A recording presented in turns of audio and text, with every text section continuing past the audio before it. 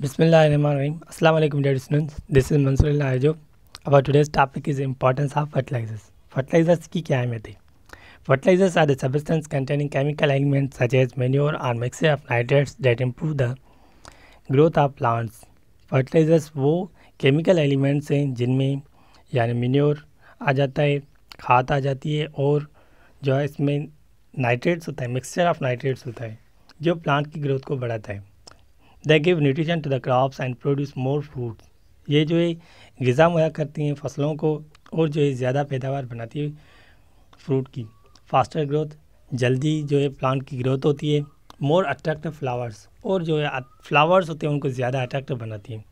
When added to soil or water जब इनको मिलाते हैं पानी या ज़मीन के अंदर plants can develop tolerance against pest like weeds insect and disease plant के अंदर जो है एक सलाहियत पैदा हो जाती है जो इंसेक्ट होते हैं या जो बीमारियाँ होती हैं, उनसे लड़ने के लिए। And the use of manure and compost as fertilizers is probably almost as old as agriculture और ये जो इस्तेमाल है फर्टिलाइज़र्स का, वो इतना पुराना है जितनी पुरानी की हमारी ज़रात है। एग्रीकल्चर है। Modern chemical fertilizer include one or more of the three elements that are the most important plant nutrition यानी जो हमारे आज के जो केमिकल फर्टिलाइज़र्स हैं, उनमें तीन एलिमेंट्स बहुत ज़्यादा हैं। जो प्लांट की न्यूट्रिशन में अहमियत रखते हैं। Nitrogen phosphorus and potassium chemical fertilizers are simply plant nutrients जो केमिकल फर्टिलाइज़र्स होते हैं, वो प्लांट के न्यूट्रेंट्स ही होते हैं। Apply to agriculture field to supplement required element found naturally in the soil यानी जो कुदरती तौर पर ज़मीन में मौजूद एलिमेंट्स होती हैं, उनका पूरा करने के लिए, उनको इक्वल करने के लिए हम जो है फर्टिलाइज़र्स देते हैं। Environmental hazards related chemical fertilizers यानी इन्वायरमेंट के लिए क्या नुकसान होते हैं? केमिकल फर्टिलाइजर्स की वजह से। And environmental hazard is a condition which has the potential to threat natural environment or adversely affect people health including pollution and natural disasters environmental hazard का मतलब ये है कि वो कंडीशन जिसमें जो, यानी कुदरती जो नेचुरल इन्वायरमेंट है, उसको नुकसान पहुँचे, या वो असरानंदाज हो इंसान की हालत पर, या जो है पॉल्यूशन का सबब बने।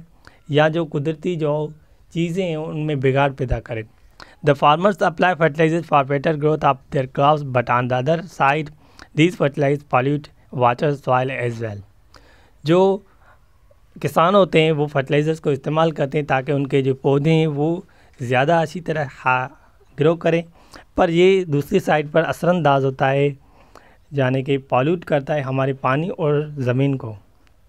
Soil nutrients hauling capacity.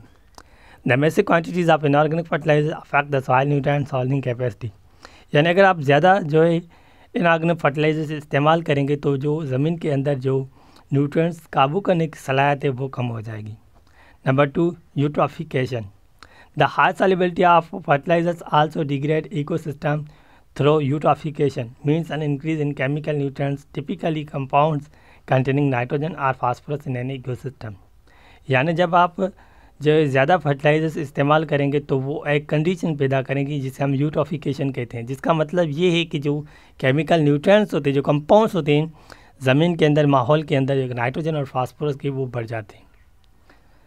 Emission of greenhouse gases number three storage in application of some nitrogen fertilizers may cause emission of greenhouse gases nitrous oxide यानी जो है ग्रीन हाउस गैसेज की जो है एमिशन होती है, वो बाहर निकलती हैं।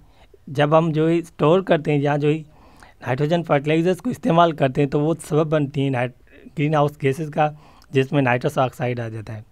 सॉयल एसिडिटी अमोनिया गैस में भी emitted from applied inorganic fertilizers this extra ammonia can also increase soil acidity यानी अमोनिया गैस जो है इमिट होती है, जब हम इनऑर्गेनिक फर्टिलाइजर्स को इस्तेमाल करते हैं तो वो जो इजाफी अमोनिया होती है, वो साइल की एसिडिटी को बढ़ा देती है।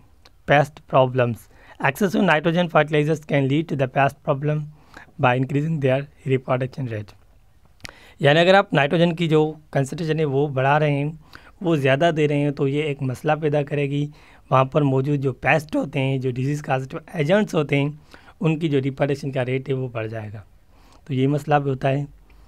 और Number 6 is nutrient balance. It is recommended that the nutrient content of the soil and nutrient requirement of crop should be carefully balanced with application of inorganic fertilizers.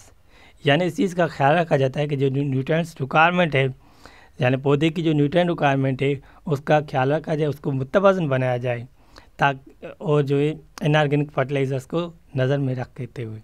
It is critical to apply no more than it is needed यानी ये ज़रूरी होता है कि आप उनको जितनी ज़रूरत है, उतनी जो है न्यूट्रेंट्स मुहैया करें।